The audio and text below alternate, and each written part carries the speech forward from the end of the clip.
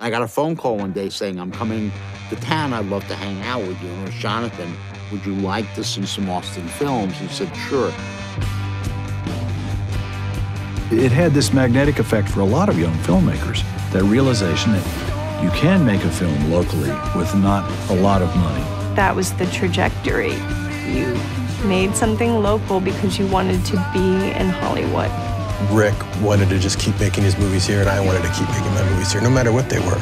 We had the locations all within an easy drive.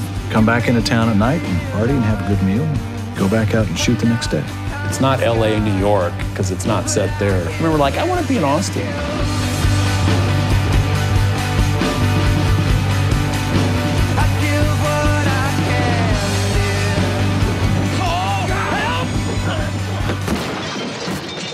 We write what we live and we live what we write. Is that wrong?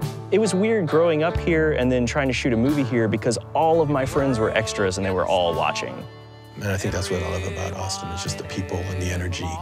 And people work to live here, they don't live here to work.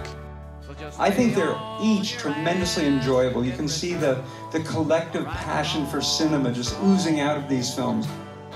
It's fun to just shoot in your backyard.